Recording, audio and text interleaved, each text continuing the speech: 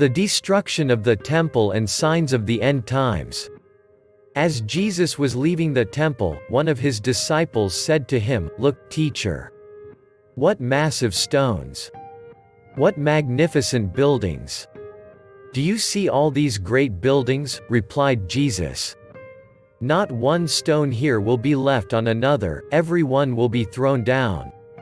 As Jesus was sitting on the Mount of Olives opposite the temple, Peter, James, John and Andrew asked him privately, Tell us, when will these things happen?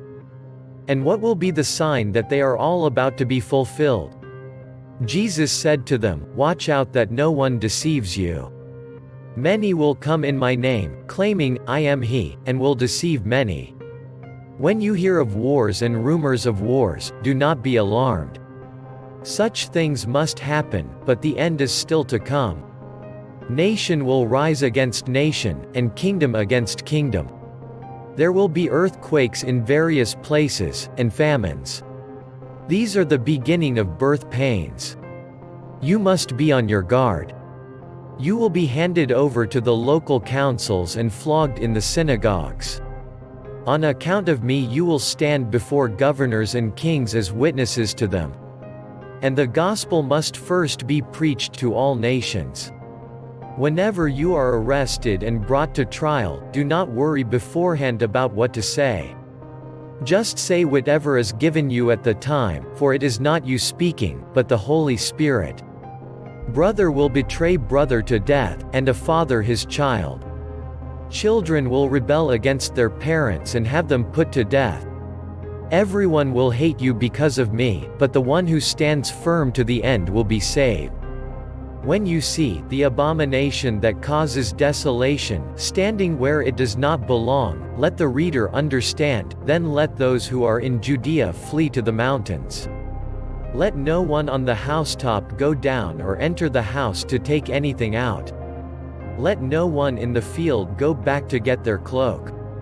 How dreadful it will be in those days for pregnant women and nursing mothers. Pray that this will not take place in winter, because those will be days of distress unequaled from the beginning, when God created the world, until now, and never to be equaled again. If the Lord had not cut short those days, no one would survive. But for the sake of the elect, whom he has chosen, he has shortened them. At that time if anyone says to you, Look, here is the Messiah, or, Look, there he is, do not believe it. For false messiahs and false prophets will appear and perform signs and wonders to deceive, if possible, even the elect. So be on your guard, I have told you everything ahead of time. But in those days, following that distress, the sun will be darkened, and the moon will not give its light, the stars will fall from the sky, and the heavenly bodies will be shaken. At that time people will see the Son of Man coming in clouds with great power and glory. And he will send his angels and gather his elect from the four winds, from the ends of the earth to the ends of the heavens. Now learn this lesson from the fig tree, as soon as its twigs get tender and its leaves come out, you know that summer is near. Even so, when you see these things happening, you know that it is near, right at the door. Truly I tell you, this generation will certainly not pass away until all these things have happened. Heaven and earth will pass away, but my words will never pass away. The day and hour unknown, but about that day or hour no one knows, not even the angels in heaven, nor the Son, but only the Father. Be on guard. Be alert.